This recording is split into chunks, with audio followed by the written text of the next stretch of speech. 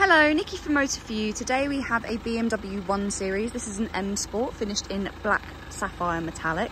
This car has got a M Sport pack on it as well as a Tech Pack 2. It has also had one owner from new and has a full service history. On this car we have park distance to the front which we can see the sensors just along there. We also get 19 inch M Sport alloys on this car and we can also see the M Performance brake discs, but brake pads just behind. If we then start to make our way around the car, past the B pillar we have privacy glass, and as we come around to the back you can see we have rear park distance on this car. If we then open up the boot, Once inside the car, you can see that we have electric windows all round with your window lock button just below. We also have electric folding mirrors on this car. The locking system is just next to the door handle and just above that we can see by the speaker that this car comes with Harman and Kardon. To the right hand side of the steering wheel is where the headlights are located on this car. We have the option of automatic headlights which you can see is currently selected but you can also choose whether to just have your side lights on or headlights on. We have a multifunctional steering wheel on this car with the M Sport badge just at the bottom. On the left hand side is the cruise control where we have a limiter and then on the right hand side we have your volume, changing tracks or stations, telephone and voice control. We then have the flappy paddles and just behind that we have the option of automatic wipers. If we then move to the center console, we have an armrest just here where we can open it up and there is a storage compartment where we have a USB-C fast charger. We then have the touchpad and the gear selector just here as well as your option of different driving modes. We have two cup holders just here, which is where I currently have the key. As this car has got keyless start, we do have a USB point just behind there as well as a, another um, storage cubby just there. We then have your volume button just here as well as your selection of stations. And then just up from that we have the climate control. On this car we do also have the option of heated seats for the front passenger and the driver. They have three different heat options of high medium and low.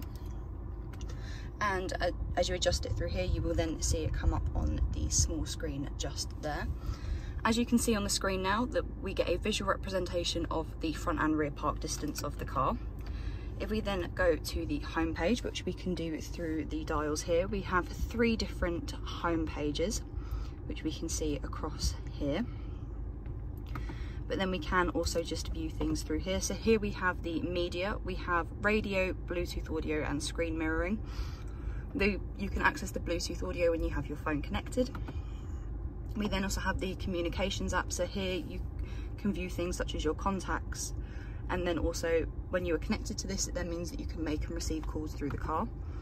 We then with this car do get sat nav so this is where you would input your destination and then this is what the map looks like. We do also have uh, the option of traffic information a petrol station map. We can also choose to set up the map. And then we also have the settings for the map just below there as well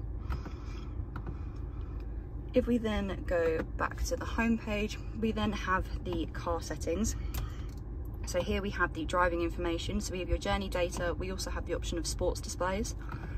And then we have the energy flow of the car as well. So as you can see here, the engine is running.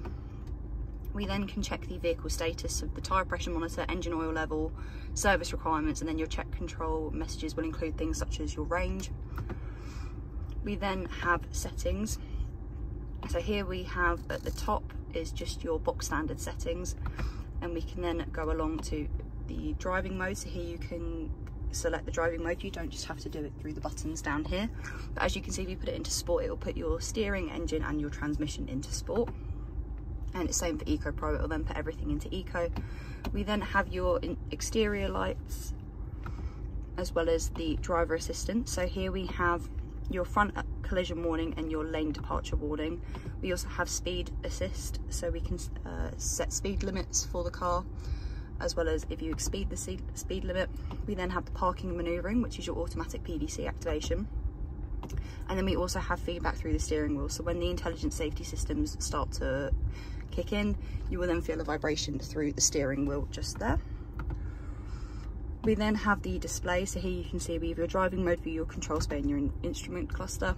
We can also change the doors and locks. We also have the interior lighting. So in this car, we do get ambient lighting. We can change the color. We have bronze, orange, white, blue, green, and lilac to choose from. And then we also can adjust the climate comfort so we can choose the air quality, whether it's air recirculated, fresh air, or whether it automatically does it for you. And then we can also do the key button assignments. As you can see, you can set it to unlock just the driver's door or all of the doors. On this car, we can also set driver profile. So it currently has a guest profile on there, but if you uh, select there you will then be able to create your own profile which is also quite handy when you have different people driving the car so it then means you can select that profile and then your music will come on and everything will be set to you and then finally we have the apps part of the screen so here we have Apple CarPlay and Android Auto if we then have a look at the seats here we have the driver's side seat we can then come round to the back. We have three seats in the back with Isofix along the bottom and we have the red interior, red leather interior throughout. We also have two charging points just down there for the rear passengers. If you have any questions or queries on this car, please contact us at Motor for You. Alternatively, you can give us a call on 01580 879 666.